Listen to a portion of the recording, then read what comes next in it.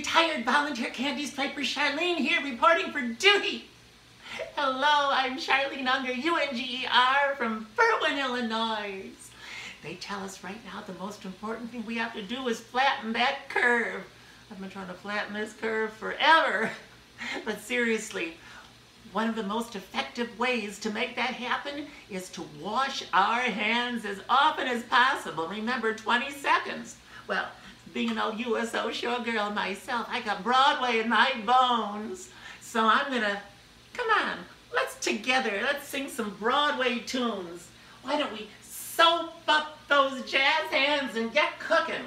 I'm gonna, oh, good heavens, it's the doorbell. Oh, oh my goodness, I'll be right back. Don't go nowhere.